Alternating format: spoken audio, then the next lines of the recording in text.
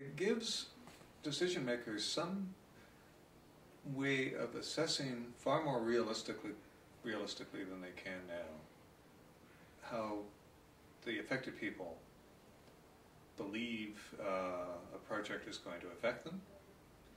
It gives them a chance actually to comment in a way that they probably wouldn't otherwise. It reaches people who wouldn't otherwise be reached.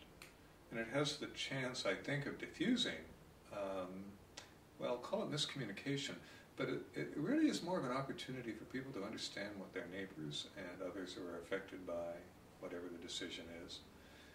And by making that dialogue more sophisticated, more in depth, even just making it clear to other people what others are thinking, it has a chance to add maybe some civility to a project or a process that would otherwise be derailed by poor communication, lack of communication, lack of understanding, it fills in the holes.